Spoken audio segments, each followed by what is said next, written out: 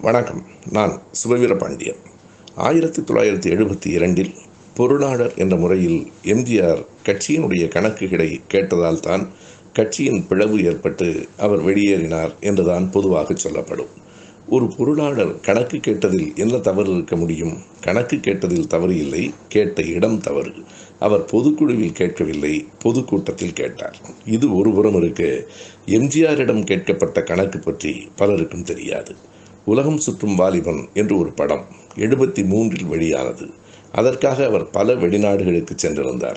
அந்த வெளிநாட்டுக்கு சென்றிருந்த போது அந்நிய செலவாணி சட்ட விதிகளை அவர் மீறிவிட்டதாக எழுபத்தி இரண்டு ஆகஸ்ட் இருபத்தி இரண்டாம் தேதி அவருக்கு ஓர் அறிவிக்கை நோட்டீஸ் அனுப்பப்பட்டது.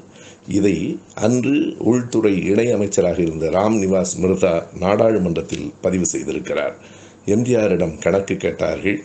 அதற்கு மாறாக அவர் திமுகவில் கணக்கை கேட்டு கட்சியை விட்டே வெளியேறி தனிக்கட்சி தொடங்கினார் என்பதுதான் வரலாறு. நன்றி. வணக்கம்.